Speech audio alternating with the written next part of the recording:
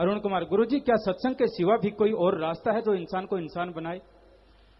नेक काम करें, भूखे को खाना, प्यासे को पानी, बीमार का इलाज करवाना, और किसी को पढ़ाना, किसी की बेटी है, और परिवार में वो गरीब है, बेचारा उसकी शादी करवा देना, मरणोपरांत आँखें दान, शरीर दान, ये सारे कार्य इंसान को, इंसान बनाते हैं, इंसानियत को ऊँचा लेके जाते हैं।